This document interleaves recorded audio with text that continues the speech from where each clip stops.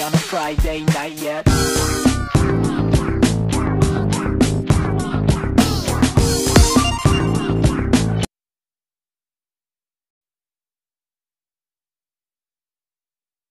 Three, two, one, go!